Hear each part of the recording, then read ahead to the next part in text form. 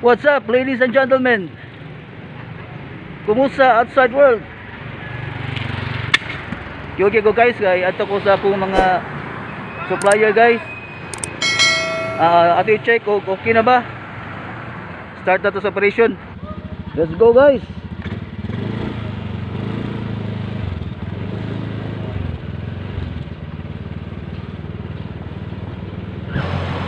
Guys, I hustle every day. Bro, is it enough?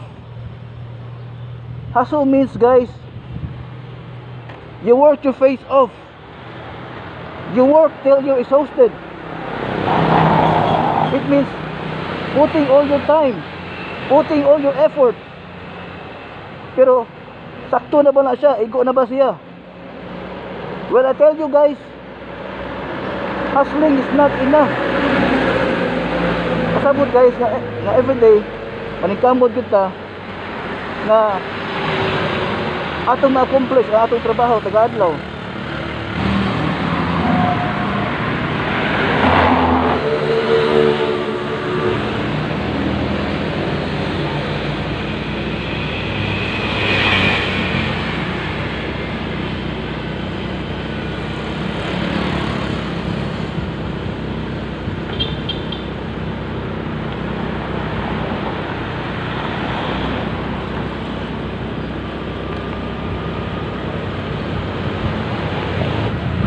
Na kasada guys, taga-daghan na ang kuhan.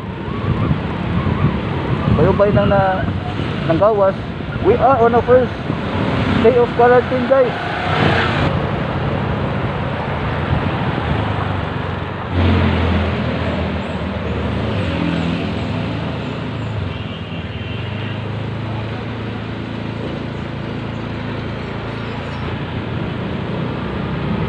Open na kasada guys.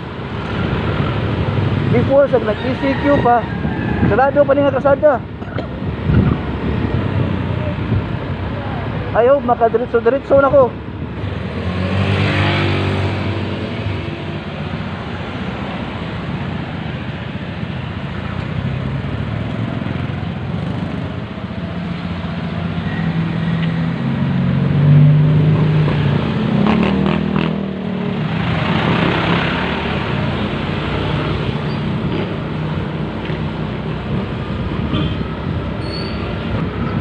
Mabot na ta guys. Sumuhan niya akong supply sa tubig guys.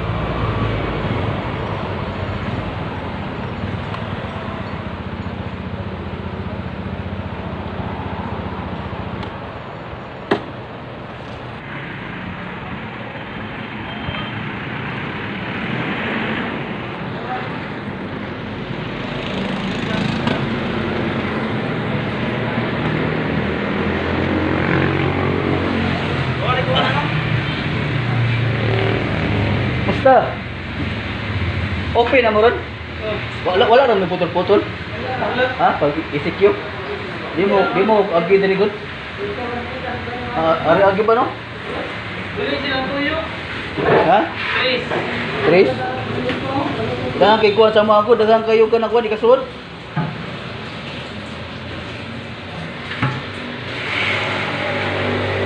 Eh, bala ko ma.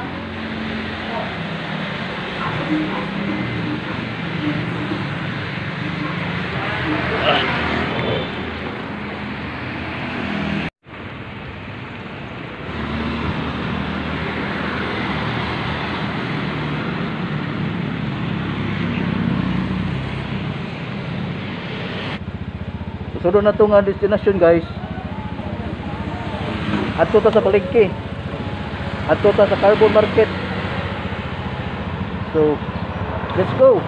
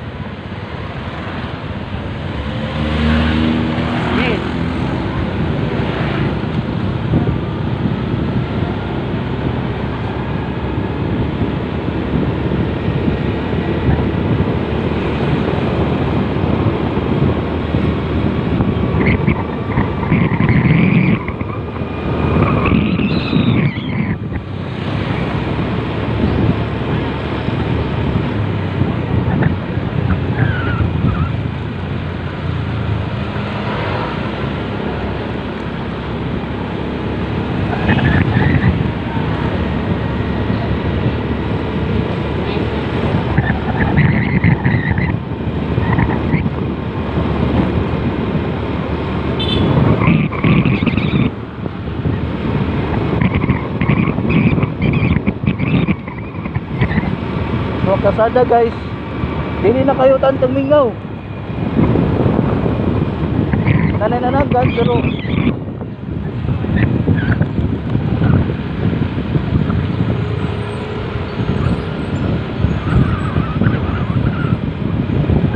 Minus pa kayang land public transport wala pa jeep nanagan guys so mao na sa sitwasyon guys diri sa Cebu City first day of GCQ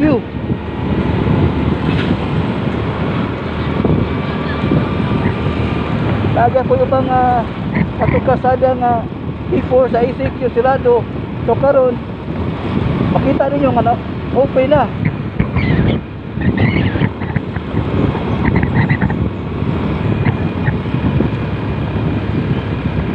So padung yan guys ato ta sa carbon market. So check na po.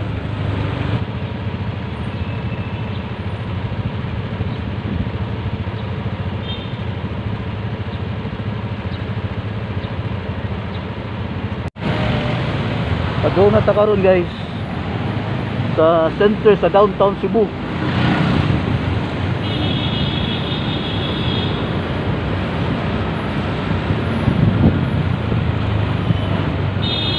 Nagsugod ng traffic guys, naghanag yung sakyanan. So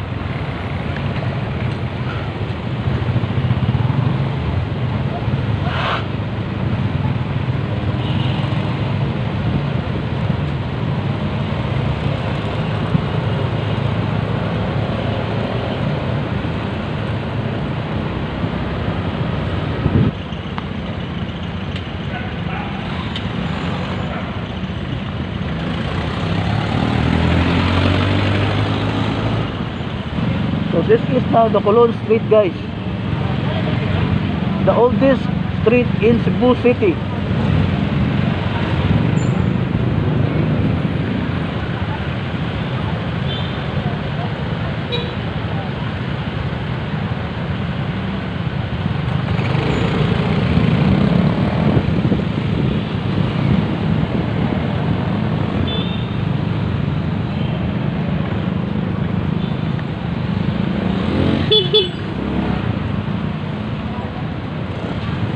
Agamay nay. Agamay nay.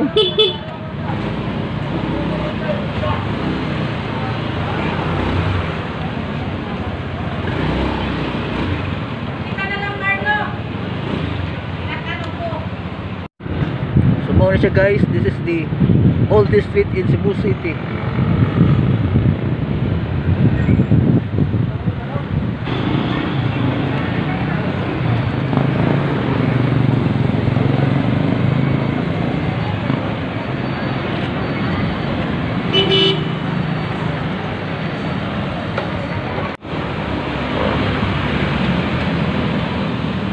Pasod na ta sa carbon market. Guys, atong i-check og dili na ba alphabetical? Makasud na ba ta? Kanang adlaw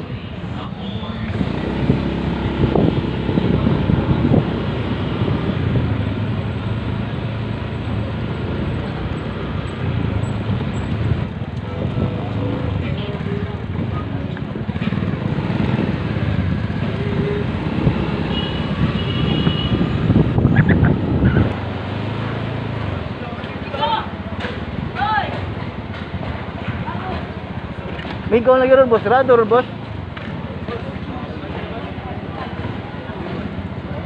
Basta oras sa abli boss. Aun sang adlaw abli diri. Mga nakapli. Ya, straight na siya. Ha? straight na siya. Ugma nga to sa Atos Domingo. Domingo abli Domingo. Ang sarado lunes ra. Mo ba? Ha? Na. ah sige sige. Salamat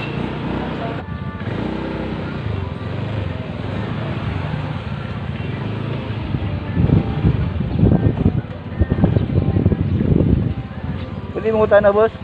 Abli na diri boss, di mo kadlaw. Lunes ready? Ang lunes ni Abli Martes, kadlaw. Ma- Martes. Okay na niya. Ah, Domingo. Pero kadlaw, Abli na hapon. Ni Domingo, hanto Domingo. Oh, pero ang lunes, di, ay Abli diya. Mao ba? Opisina. Sarado tanan. Oh, sarado.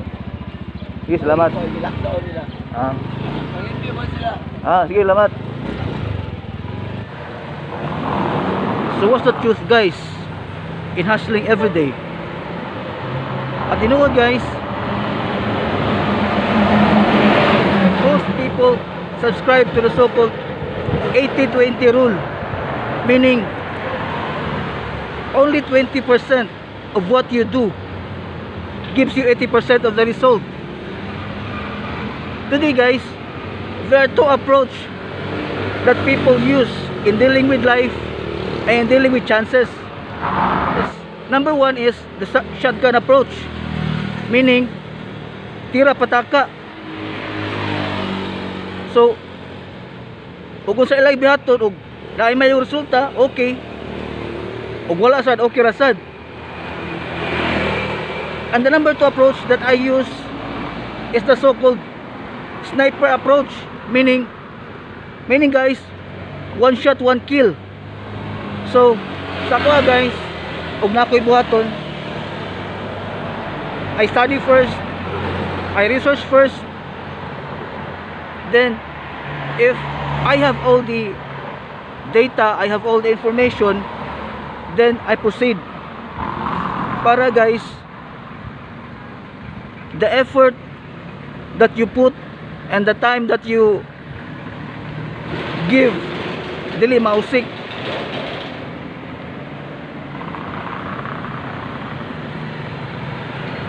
it is not the word hustle guys that make people rich. It is the word leverage. Leverage guys meaning a very good, good example of the word leverage guys is other people's money then other people's time other people's resources. So siya guys so of gusto ka nga dali og paspas nimo nga ma-accomplish ang usa ka butang then you do not only hustle but you leverage. You leverage on other people's time other people's resources and other people's money. Sa pagkakaroon guys atong obserbaran so ating paningkamutan guys we deliver value to people. We deliver quality products. In reality guys ug inyong nga maobserbahan rich people do what is hard. That's why their life is easy. Pero poor people bali they do what is easy. That's why their life is hard. So guys dali na lang. If you like this video video very informative so